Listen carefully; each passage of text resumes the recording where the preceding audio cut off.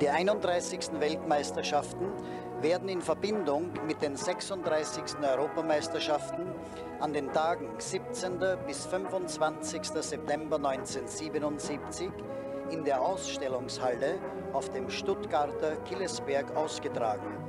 Obwohl die deutschen Organisatoren alles unternehmen, um den 186 Athleten aus 33 Ländern gute Möglichkeiten für den Start zu schaffen, bleiben die Enttäuschungen nicht aus.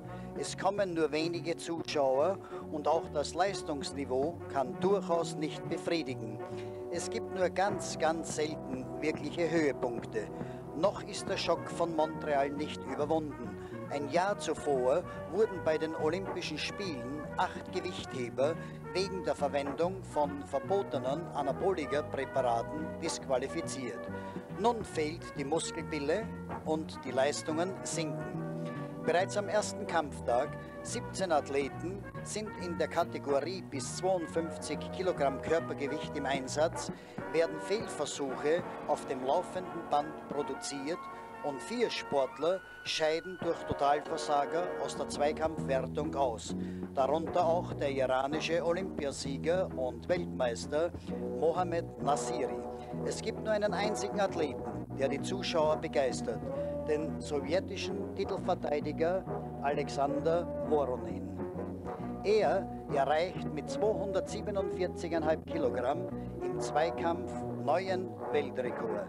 Hier absolviert Voronin den ersten Stoßversuch mit 130 Kilogramm.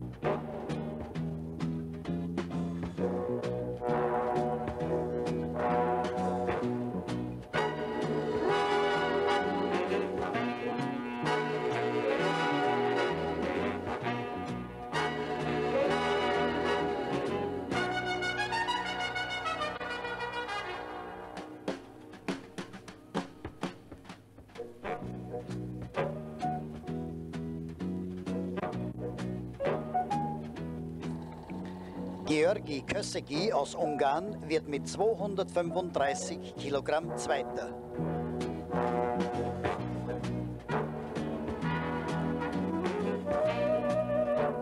Francisco Casamayor aus Kuba belegt mit 230 Kilogramm den dritten Rang.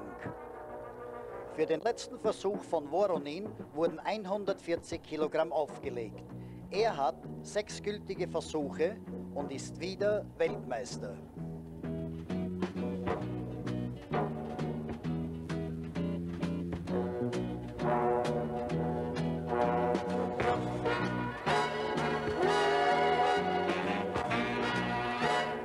Bei einem abschließenden Weltrekordversuch von Nasiri mit 141,5